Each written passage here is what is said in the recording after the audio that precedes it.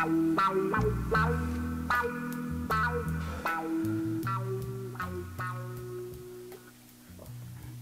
don't know what to do.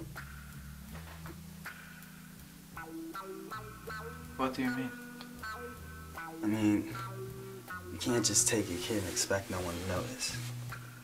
That's what I told you, man. Isn't that what I said? You did, all right? But still,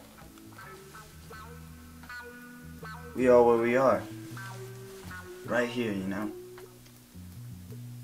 I mean, this is a big problem. We just need to fix it. What are we going to do? I don't know. There's like, there's like an answer here. There's like a solution, but but but I'm I'm, I'm just not seeing it. I don't know. Maybe we're screwed.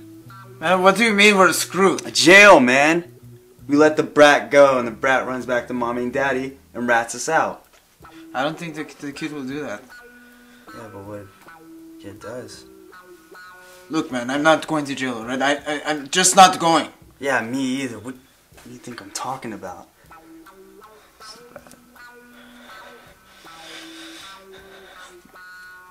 I, I, I am hy- hy- hyperventilating here, man. This is.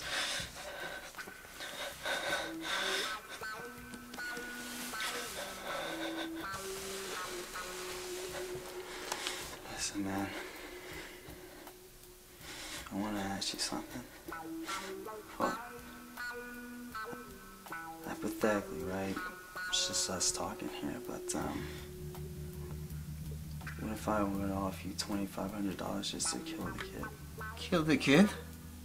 Yeah, just wax the